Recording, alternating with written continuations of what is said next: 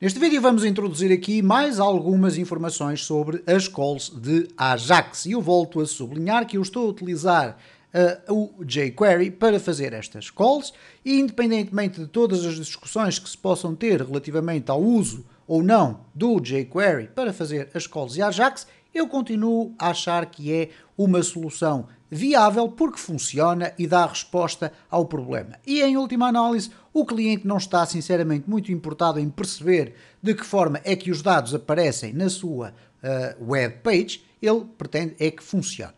Pronto, posto este uh, disclaimer à frente, eu vou introduzir aqui um outro tipo de chamada de Ajax. No vídeo anterior nós usámos as chamadas do tipo GET. Bom, com uma chamada do tipo GET, o que nós fazemos na prática é passar toda a responsabilidade da resposta para este script que nós colocamos na URL. Isto é, significa basicamente dizer: toma lá resposta.php, toma lá um pedido e devolve-me a resposta que tu tiveres para nos dar. Bom, existe também as chamadas do tipo post. Aliás, as chamadas do tipo get e as chamadas do tipo post são as mais comuns. Qual é a grande diferença entre as duas? Bom, é que neste caso, quando eu coloco aqui o tipo igual a post, eu posso submeter informações como se fosse a submissão de um formulário eh, e ao submeter essas informações eu já não passo a responsabilidade completa para o script de PHP, mas posso passar para lá informação que depois vai ser usada por esse próprio script para me devolver uma determinada resposta. E quando eu digo uma determinada resposta, é uma resposta no sentido da informação que eu coloquei. Vamos aqui traduzir isto de uma linguagem mais simples. Imaginem que neste script da resposta eu tenho lá três respostas possíveis, por exemplo. Bom, se eu quiser obter apenas uma das respostas que lá está, eu tenho que lhe indicar qual é a resposta que eu quero. Então eu posso utilizar o método post para lhe dizer aqui num uh, item que nós vamos acrescentar, que é o item data, eu posso lhe dizer aqui qual é uh, a informação que eu vou passar para o meu script para que ele depois a possa apanhar do lado de lá, neste caso no resposta.php, ver qual foi, qual foi o valor ou os valores que eu lhe enviei e agir em conformidade e apresentar-nos a resposta que nós pretendemos.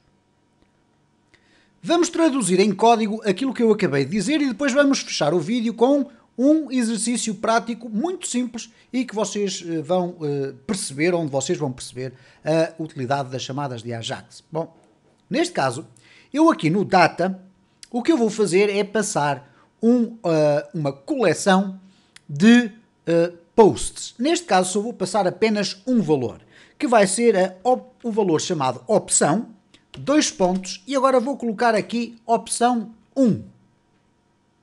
Bom, o que é que eu estou a passar aqui basicamente? É o mesmo, se vocês quiserem interpretar desta forma, é o mesmo que eu ter um formulário onde tenho um input que se chama opção, mas onde eu tenho já o valor definido, que é o valor 1. E este valor aqui pode ser uma string, poderia ser aqui uh, um nome qualquer, poderia ser outra coisa qualquer. Neste caso eu estou a passar um número inteiro. Não esquecer que como este conjunto de elementos que aqui estão fazem parte da assinatura desta chamada de Ajax, eles têm que ser todos separados por vírgulas. Então temos aqui o type, vírgula, temos a URL, que é o uh, endereço para onde vamos pedir a nossa chamada. Temos agora este novo elemento data, que é a informação que vai ser postada para este fecheiro, e portanto temos aqui essa informação. E depois temos o sucesso e o erro e lá dentro a execução do código respectivo. Bom, o que vai acontecer então agora é o seguinte: vamos aqui à nossa resposta. Eu tive o cuidado de a limpar e nós vamos poder ver, por exemplo, o seguinte: se eu fizer aqui um var dump de post, isto é, a tal super global do PHP que apresenta todos os dados que foram submetidos, por exemplo, na submissão de um formulário, o que vai acontecer aqui neste caso concreto é que eu estou a dizer a esta chamada de Ajax que uh, é para ser submetida no formato de um pedido via post. Então reparem, quando eu fizer este post, o resposta.php vai receber este data que aqui está. E este data uh, que neste caso é a opção que tem o valor 1, e atenção que aqui não é igual, mas sim é dois pontos, ele vai fazer ou vai passar a fazer parte deste, uh, uh, deste post. Isto é, faz parte desta super global, que é uma coleção de informações que são submetidas uh, quando o nosso, a nossa página é, é, é, executada, neste caso. Bom, o que vai acontecer aqui é este var dump vai um, fazer a impressão de uma string. E neste caso, aqui este console log dados vai apresentar na consola das ferramentas do programador os dados que foram submetidos. Então reparem aqui no seguinte, não olhem agora aqui para o texto original, apenas temos aqui, quando eu clico no botão alterar, a execução daquele método. E quando eu acabei agora de clicar aqui no alterar, reparem o que é que aconteceu. Este é o resultado que me foi devolvido por parte do resposta.php. Isto é, ele conseguiu perceber que na submissão dos elementos foi submetida uma opção que, cujo valor é igual a 1. Se nós formos aqui refrescar e clicar aqui outra vez no alterar, se formos aqui à resposta, nós vamos ter oportunidade de verificar nas ferramentas do programador que houve um form data, isto é, como se tivesse sido submetido um formulário, com a opção e o respectivo valor. Querem ver um exemplo prático? Vamos aqui fazer o seguinte. Vamos dizer que aqui seria a parcela 1, que seria igual a 10, e agora se eu quiser definir mais um valor a ser submetido, eu posso colocar aqui uma vírgula e definir parcela 2 e o valor vai ser igual a 30. Bom, colocando estes valores e enviando estes valores para o resposta.php, o que vai acontecer então é que ele vai passar a conhecer a existência de dois itens, o parcela 1 e o parcela 2. O que é que eu posso fazer do lado da resposta? Bom, algo muito simples. Vocês vão perceber, por exemplo, P1 é igual a post de parcela 1 sendo que este valor do parcela 1 tem que ser, obviamente, o mesmo que, eh, neste caso, o nome tem que ser exatamente igual, e depois vamos ter o parcela 2. Neste caso, vamos aqui simplificar copiando, alterando aqui para parcela 2 e ali para P2. O que é que eu posso fazer agora? Um simples eco. Vamos colocar aqui, assim, desta forma, o P1 mais P2 é igual, e eu agora vou colocar aqui uma concatenação e vamos colocar aqui A mais B, neste caso seria P1 mais P2. O que é que eu estou na prática aqui a fazer?